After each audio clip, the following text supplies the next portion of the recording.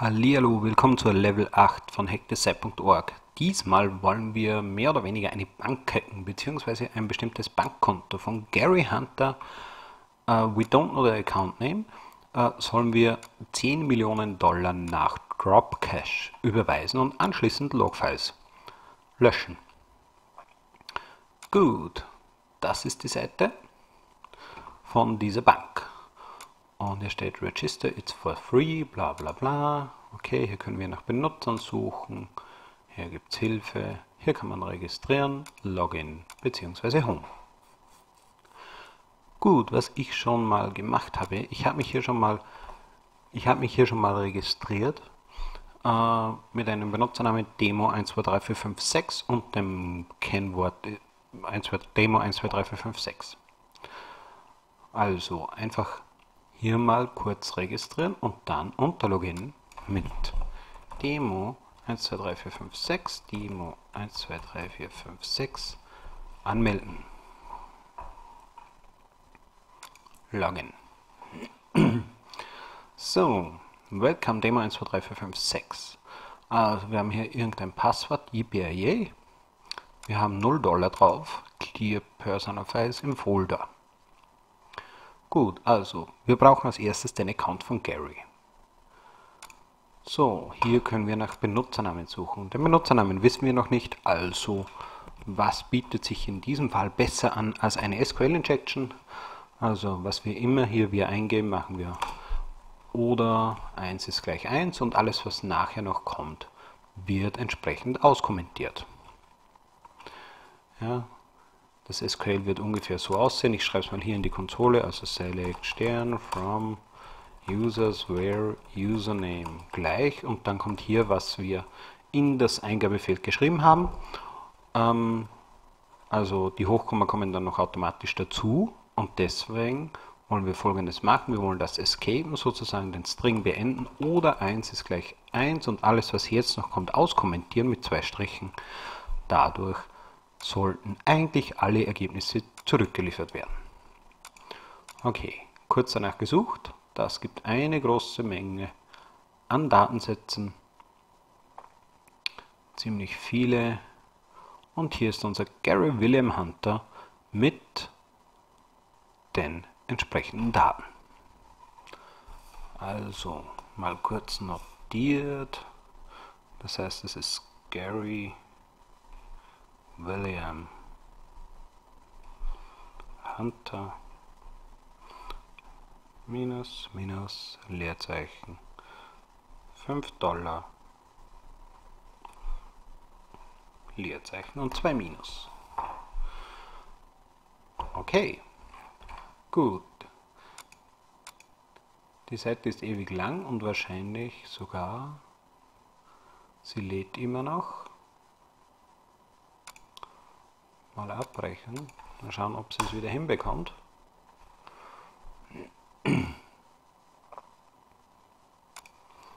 Sieht schlecht aus.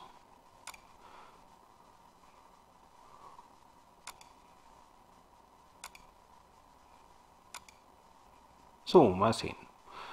Gut, hier wieder auf der Seite, wo wir angeloggt sind. Und wir wollen sozusagen in den Account von Gary William Hunter rein, wollen dort Geld überweisen. Also die Frage ist jetzt, wir haben uns hier eingeloggt, wie identifiziert uns die Webseite eigentlich, dass wir das sind?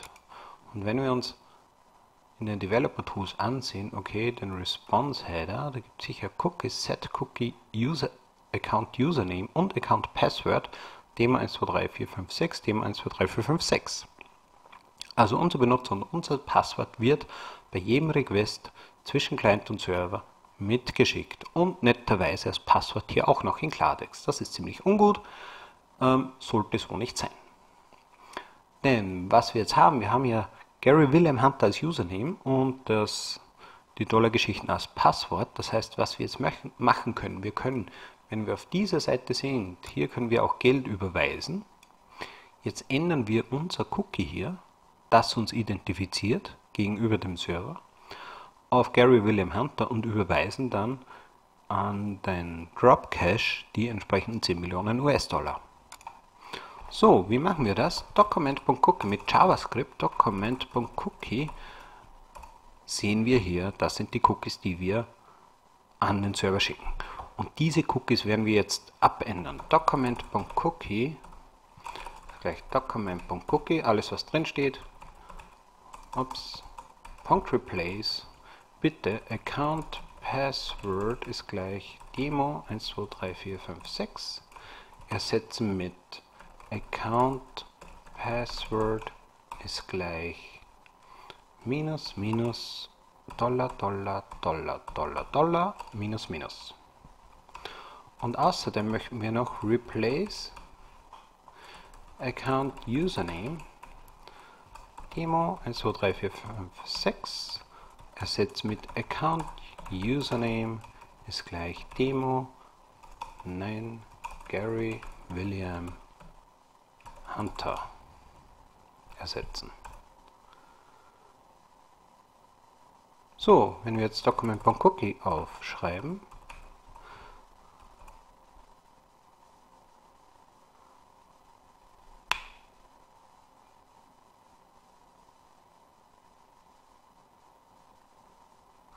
Gut, da habe ich mich wo verschrieben. Der Account Username, Account Username ist gleich Thema 12356. Das Passwort würde schon stimmen, der stimmt noch nicht, also den wollen wir ersetzen durch das. Das haben wir schon, gehen wir mal weg. Zips. So, jetzt Gary William Hunter und das Passwort ist auch entsprechend. So, jetzt, wenn wir jetzt Daten zum Server schicken, machen wir das unter diesen Account Name. Also wir sind jetzt der Gary William Hunter und wir stehlen diesen jetzt äh, entsprechend Geld. Nach Dropcash wollen wir überweisen und zwar 10, 1, 2, 3, 1, 2, 3 Millionen Dollar. Transfer, congratulations, one objective done. So, jetzt geht es noch darum, dass wir die Logfiles löschen müssen. Also gehen wir wieder zu dieser Login-Seite, wo wir waren, Demo 123456, Demo 123456 und hier gibt es Clear Files im Personal Folder. Ja, also meine persönlichen Dateien löschen, wir wollen aber nicht die persönlichen Dateien löschen, wir sollen alle Dateien löschen, also alle Logfiles. Äh, das war so die Aufgabe. Gut, wenn wir jetzt mit den Developer Tools und diesen Button ansehen, dann sehen wir, da ist eine Form, ein Formular, Clear Directory. Äh, PHP wird das Formular hingeschickt und das Verzeichnis ist Thema 123456 SQL-Files. Also sozusagen Benutzername SQL-Files. Und dann wird er die Dateien da, da drinnen löschen. Wir wollen jetzt ja nicht dieses, sondern wir wollen Logfiles löschen.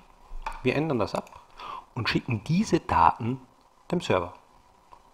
Und wenn der das nicht ordentlich validiert, dann ist die Mission somit erledigt. Congratulations, successfully completed Mission 8. Also, was sind die Probleme dieser Seite? Einerseits ist es nie eine gute Idee, Kennwörter hin und her zu schicken, weder in Klartext noch gehasht. Nie gut, nie. Nein, echt nie. Gar, gar nicht. Überhaupt nicht. Nö, nö, nö. Das zweite, also wenn man was hin und her schicken muss als eindeutige Identifikation, dann ist es bitte ein signierter Token. Das zweite, ähm, wir haben ein Cookie geklaut.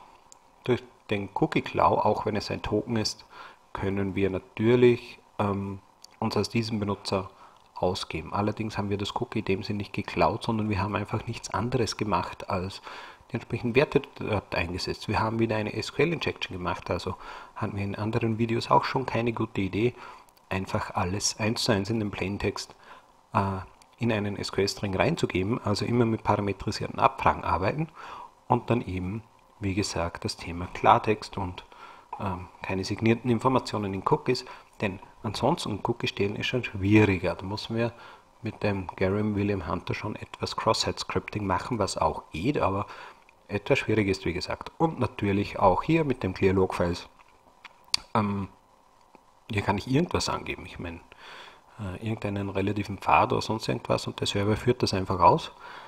Das ist dann ganz toll, wenn man die ganze Festplatte löschen will oder ähnliches. Gut, in diesem Sinne immer gut Eingabevalidierungen machen und viel Spaß beim selber nachbauen. Ciao.